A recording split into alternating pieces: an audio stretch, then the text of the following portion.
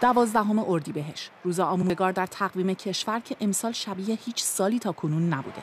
نه از جشن مدارس خبریه و نه از دانش آموزان گل به دست. کلاس های درس شده از راه دور و شرایط برای این سختکوشان سختتر هم شده.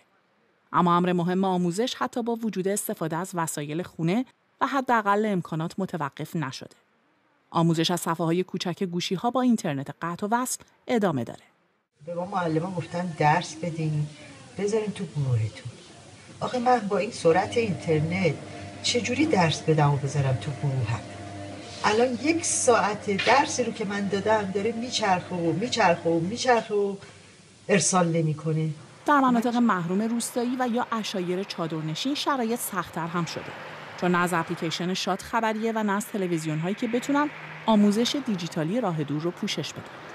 با این همه آموزگاران این مناطق هم راههایی رو با ابتکار خودشون پیدا کردند تا امر مهم آموزش متوقف نشه.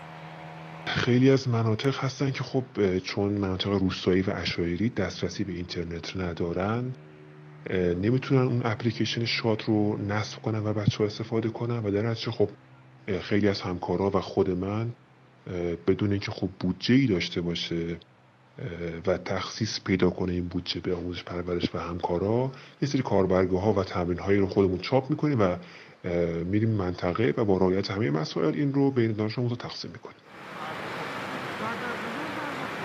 این تلاش بیوقفه در حالی از سوی آموزگاران انجام میشه که غالبا هزینه های اجرای طرحهای این چنین رو باید از جیب خودشون پرداخت کنند یا از سرانه محدود مدارس روستایی که سقف بودجه بسیاریشون به دو میلیون تومن هم نمی‌رسه.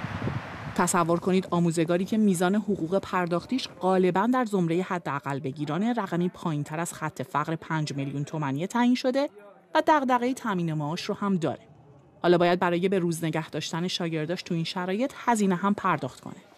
با این همه روشن بودن چراغ درس و مدرسه با وجود کووید 19 مرهون تلاش بیوقفه همین فرهنگیان حداقل بگیرانی که با وجود نبود امنیت شغلی هر دغدغه‌ای رو الان کنار گذاشتن و بر یک هدف تمرکز کردن.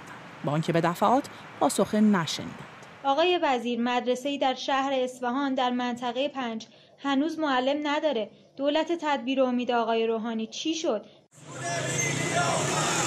افزایش حقوق کمتر از سی درصد سالانه در حالی که نرخ تورم بازار دو رقمی است.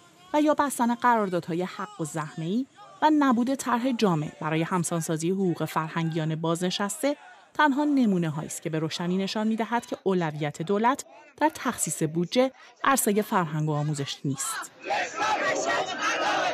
همین است که یک معلم پس از سی سال خدمت هنوز منتظر پاسخ و توجهی در خور از دولت.